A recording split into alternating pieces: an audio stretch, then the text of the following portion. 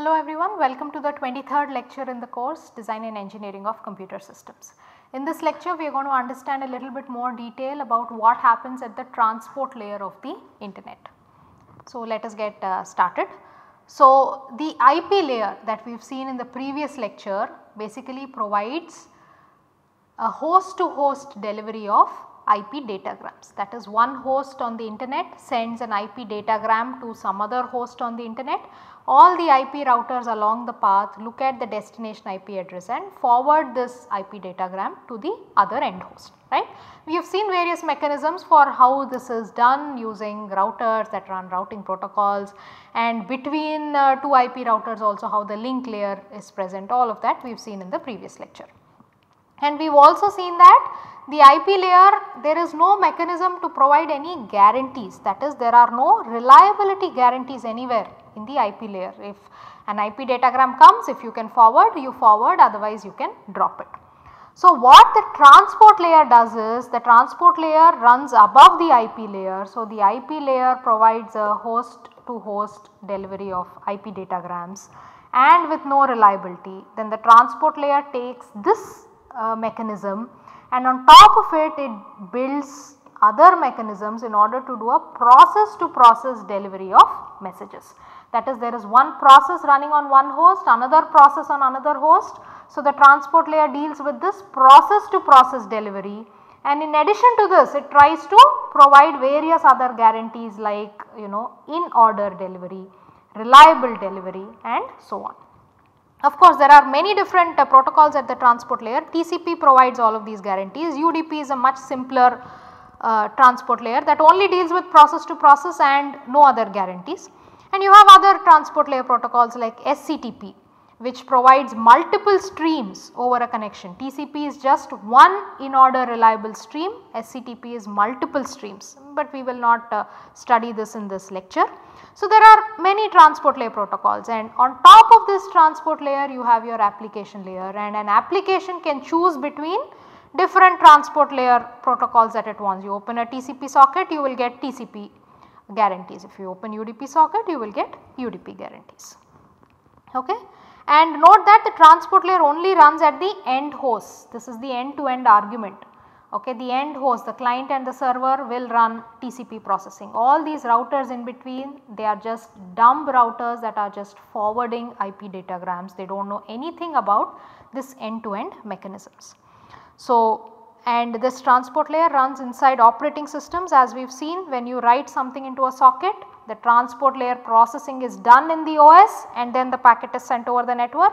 Similarly, when you receive a packet the OS does all the transport layer processing and then gives the application layer message alone to the application that is reading from the socket.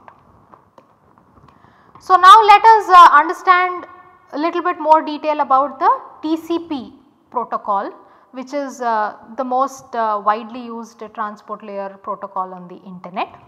So, what is TCP? TCP is a connection based protocol that is when you if you recollect uh, TCP sockets uh, you will connect two TCP sockets with each other. So, what is this connection? What is set up when you do this connection is that an end to end connection is established between the client and the server even though no router along the path is aware of this connection. So, what happens when during this end to end connection is that you have a what is called the 3 way TCP handshake between your client and your server. Your client and server exchange some messages in order to establish this connection. How is this done? The server has opened a listen socket and it is waiting for new connections and the client starts a connect system call and at this point what happens is the client machine will send a special packet to the server called the SYN packet saying hello I want to talk to you.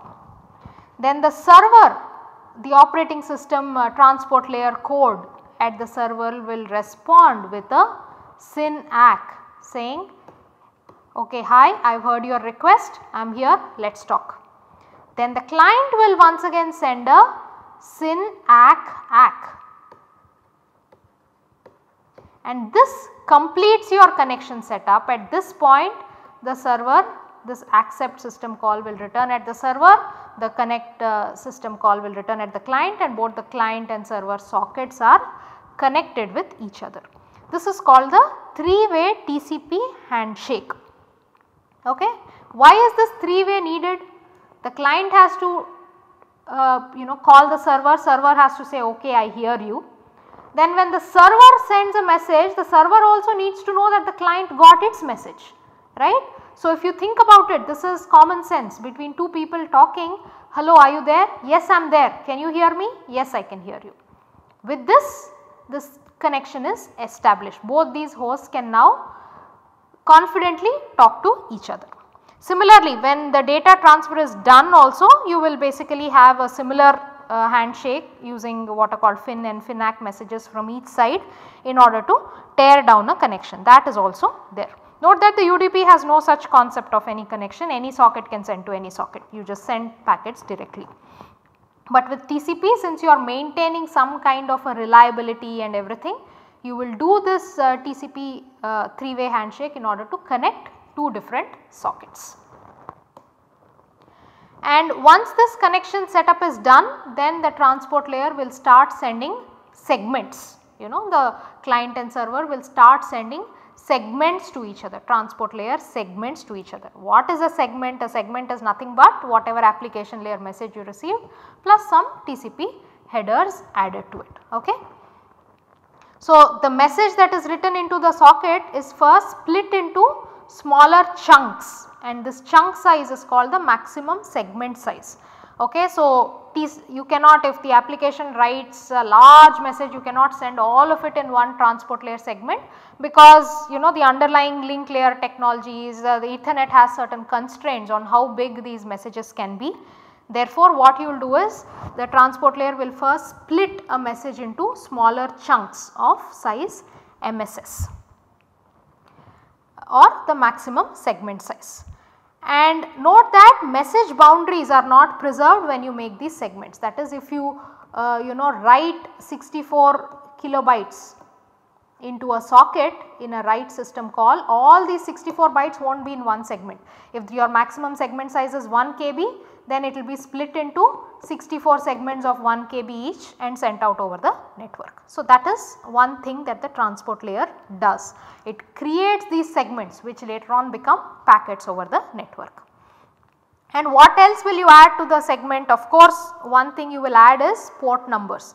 You know you have multiple processes on a computer which are identified uh, different sockets are distinguished by port numbers therefore in the transport layer TCP UDP both of them will add port numbers and the IP layer will add the IP addresses.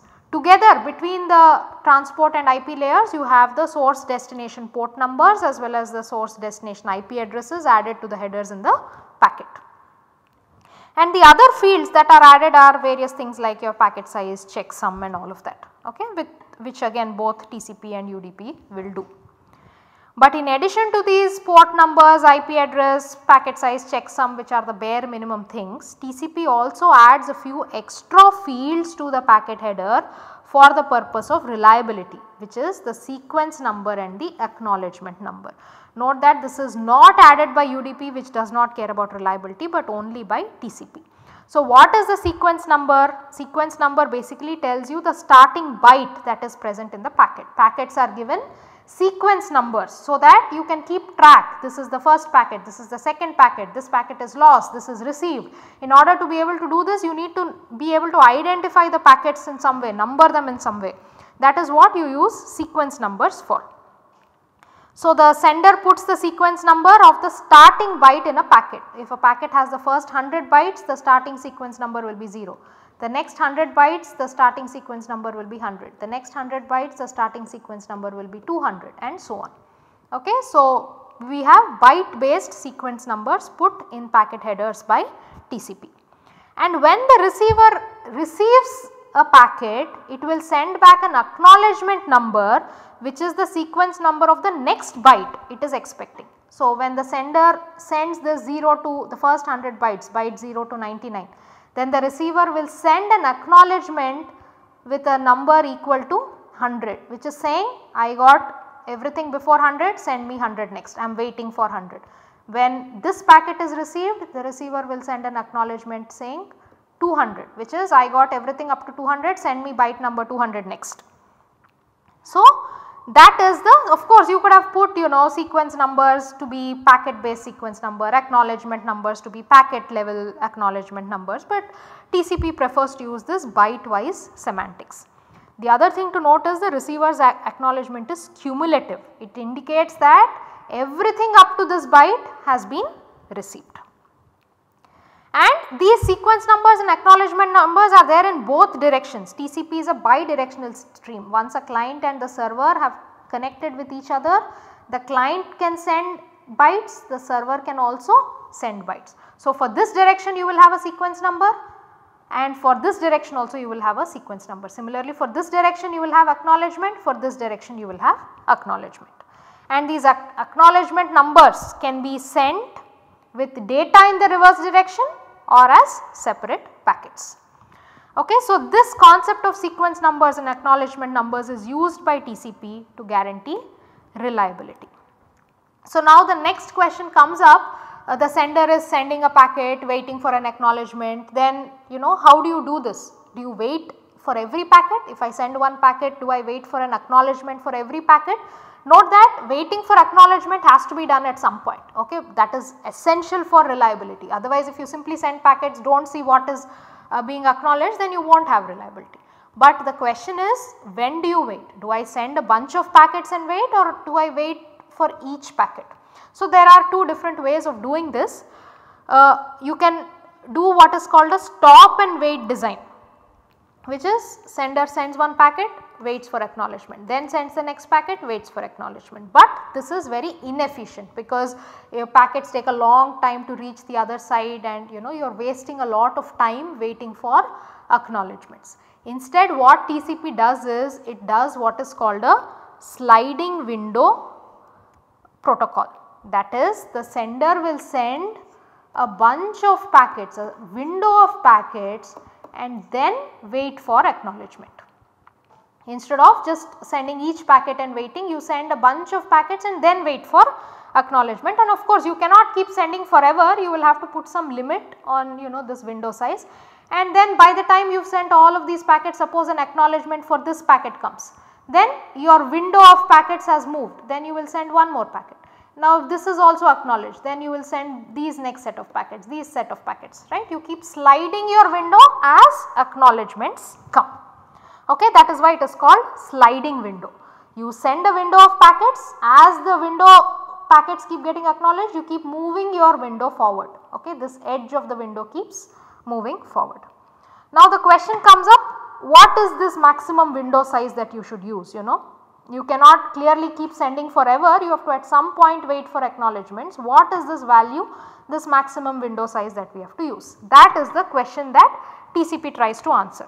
If you use too large a window size then what will happen you are just you know dumping packets into the network you can cause congestion bad things can happen.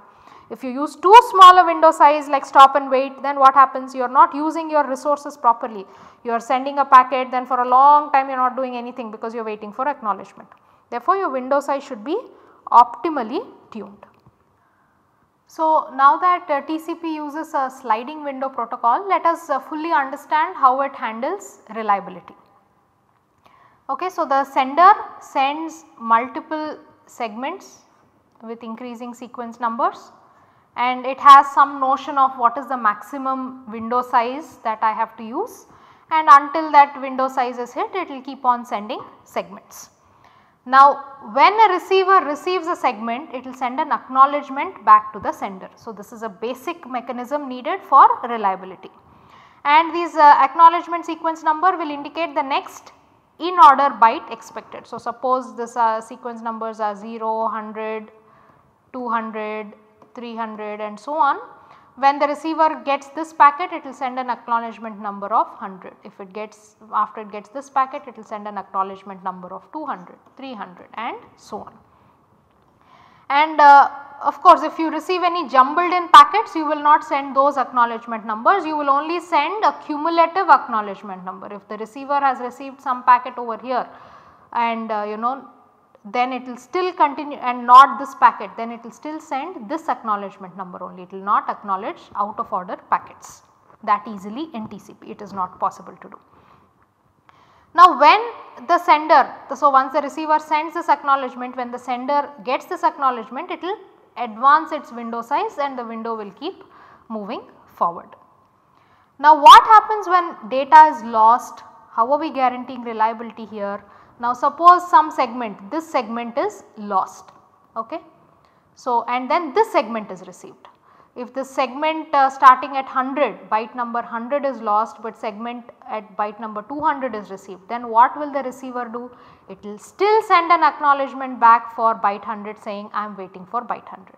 One, when segment 300 is received it will once again send an acknowledgement saying I want byte 100. The next segment is received it will once again send an acknowledgement saying I want byte 100. That is we will have duplicate acknowledgements every time the receiver receives a packet it will send back an acknowledgement for the next in sequence byte it is expecting and therefore with these duplicate acknowledgements a single duplicate acknowledgement can be due to some you know reordering of packets that is okay. But once you get 3 duplicate acknowledgements the sender thinks okay something is lost something bad has happened and it will retransmit that lost segment and once you retransmit the segment when the receiver gets it then all of these segments are also received then it might send back you know one big the next acknowledgement can be over here you can skip all of these and say oh I got all of these send me this byte next right the receiver can do that.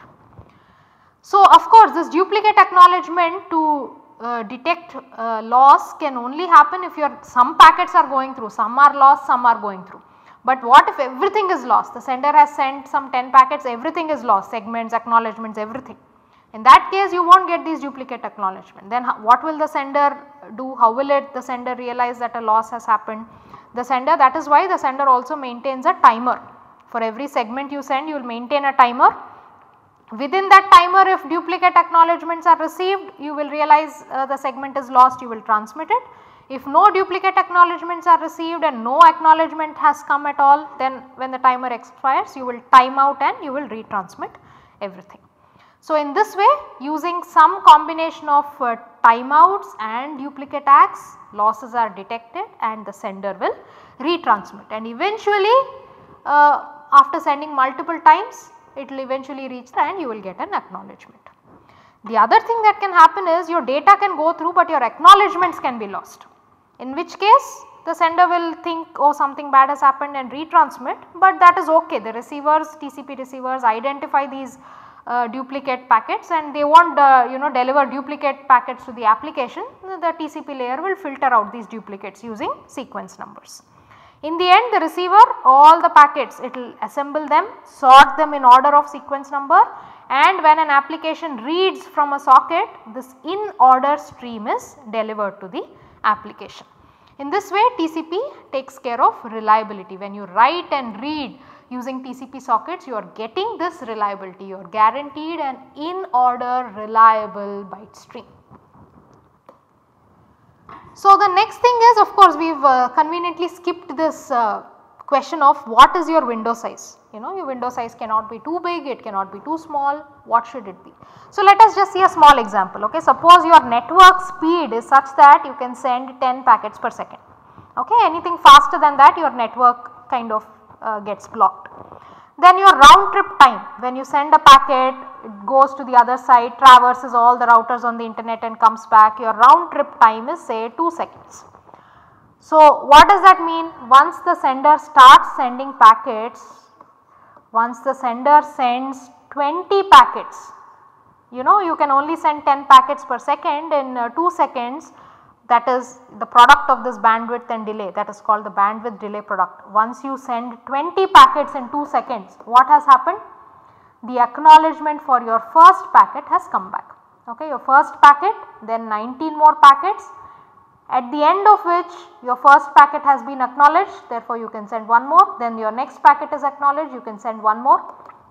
So, if you are sending at the rate that your network supports and you know you have a certain delay then by the time you send your bandwidth delay product or BDP worth of packets the ACK for the first one would have come through and therefore your ideal window size in this ideal world is basically your bandwidth delay product. You take the bandwidth of your network, the rate at which your network is able to send your traffic, you multiply it with the round trip time, you get your BDP, use this as your BDP. If you use this as your BDP, then everything will be perfect, you are going at a smooth rate. If you send more than this BDP, what will happen? Your network is not able to handle that, your network will get congested. If you send less than your BDP, what will happen your network is idle, your sender is idle you know if you send one packet and wait for 2 seconds then you are just wasting the network. But if you send at your BDP at this exact rate at which your network can take it then you have an ideal situation. So, this is what TCP will want to do. However, finding out this BDP is very hard in real life and it is not possible because the what do you know the internet is large complex you do not know what the bandwidth available to you is the delays are highly varying. So, this BDP is not in general in real life it is not possible to know it this toy example we could calculate but real life is not like that. Therefore, in real life what TCP will do is it somehow tries to estimate this BDP using very rough heuristics. Okay. So, TCP calculates what is called the congestion window or the C wind using some heuristics to approximate the BDP in some sense. So, that is called congestion control you know calculating this congestion window and limiting yourself to this congestion window in order to not cause too much congestion in the network at the same time to send as much data as possible. That algorithm inside uh, the TCP logic that does this is called the congestion control algorithm. Okay. So, this congestion control algorithm relies on some feedback from the network. Okay. How do you adjust your congestion window? You do not know what is happening in the network, but you can only infer. So, if packets are going through then maybe you know you are sending below the BDP you can probably increase your congestion window, you can increase your window size. If packets are getting lost that means you know something bad is happening the network is congested some switch is not able to some router is not able to handle all this traffic and it is dropping packets therefore you may have to reduce your congestion window you may have to slow down. So, most congestion control algorithms today simply rely on packet loss okay. If packets are getting lost slow down if they are not getting lost continue to send. So, th this is called the congestion control algorithm inside the operating system inside the TCP layer of the operating system. So, very simple congestion control algorithm could look like this start with you know sending one segment and initially you know you can ramp up quickly every RTT double your congestion window. I have sent one segment in the next round trip send 2 in the next round trip send 4 segments in this way you keep on doubling your congestion window that is called the slow start. But of course this is initially to ramp up quickly. But after some time you have to be more careful. What if you know congestion will happen? Then you do not want to be sending a large uh, window size and realizing packets are getting lost.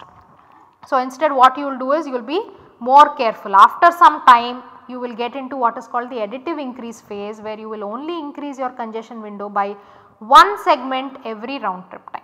The if your round trip time is 2 seconds send uh, you know send 5 packets next 2 seconds after 2 seconds send 6 pack 6 packets after 2 seconds send 7 packets in a window. That is how you will increase your window size more slowly that is if you plot the congestion window as a function of uh, time initially you will rise rapidly then you will slowly increase linear increase. Then if something bad happens if a dup ACK comes you know packet has been lost then you half your congestion window you come down then again you increase slowly then again some loss happens you slow down then again you increase slowly slow down right. This is called the additive increase multiplicative decrease when you decrease you will decrease drastically you will half it when you increase you will increase slowly.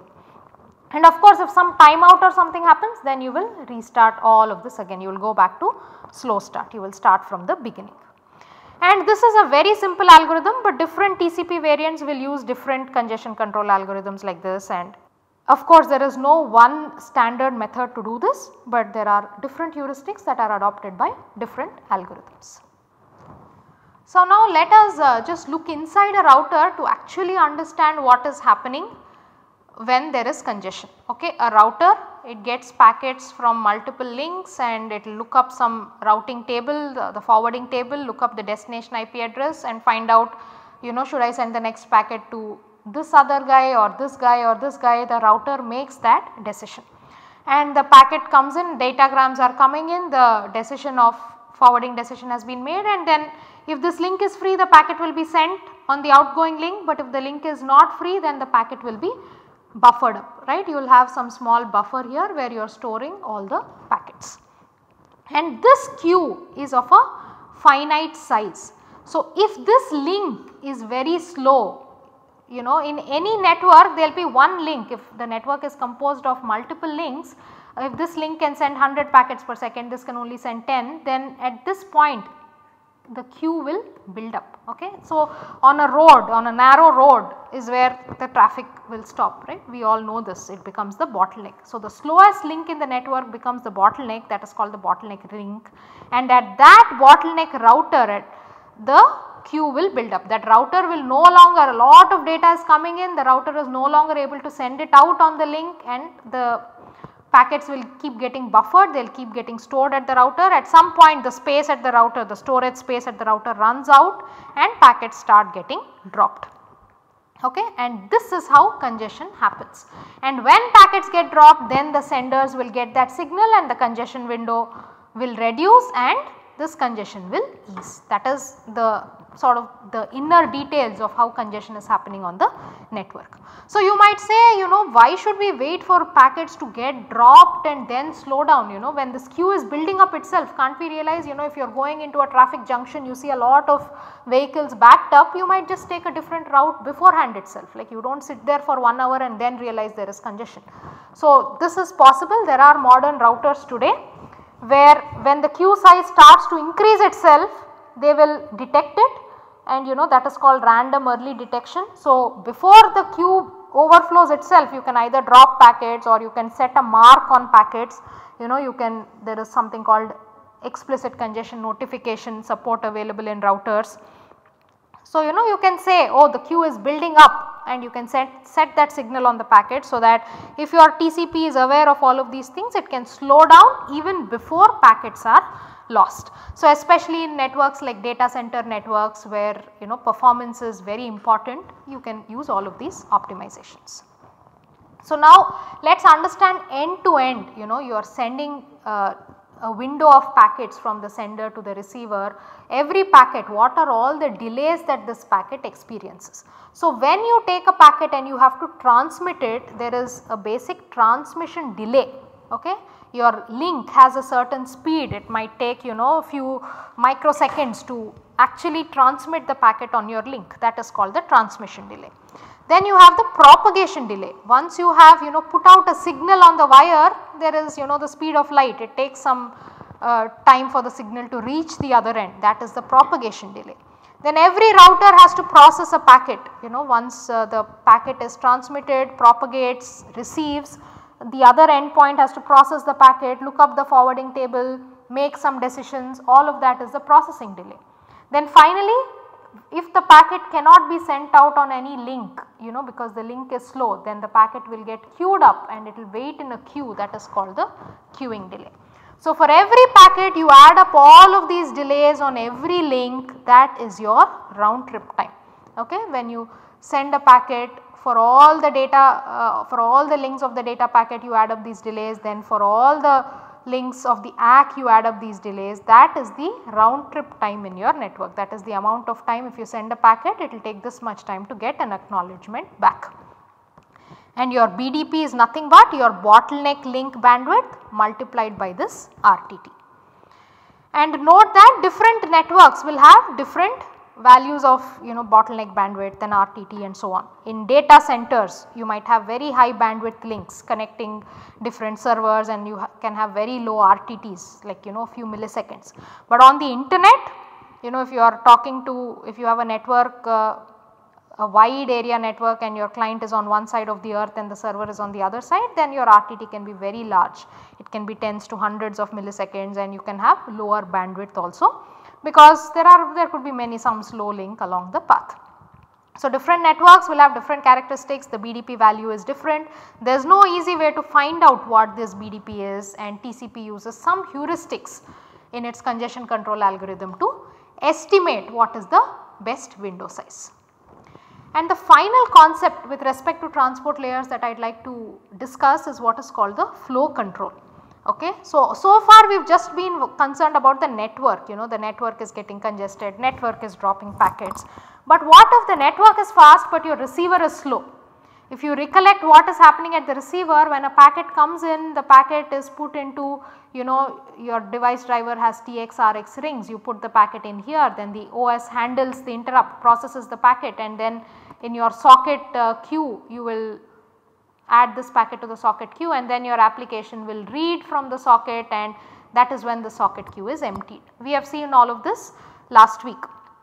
Now if your receiver application is too slow or your operating system is too slow then all of these queues also get filled up. Okay. For example, if your application is not reading packets fast enough, your application is very slow, then even if your network is very fast all the packets will come and wait here okay which is uh, in that case also the sender has to slow down that is called flow control the sender slowing down in response to a slow receiver is called flow control whereas a sender slowing down in response to a slow network is called congestion control. So, how does the sender know that the receiver is uh, slow? Uh, in every acknowledgement you will tell to the sender how much space is left in your socket receive queue.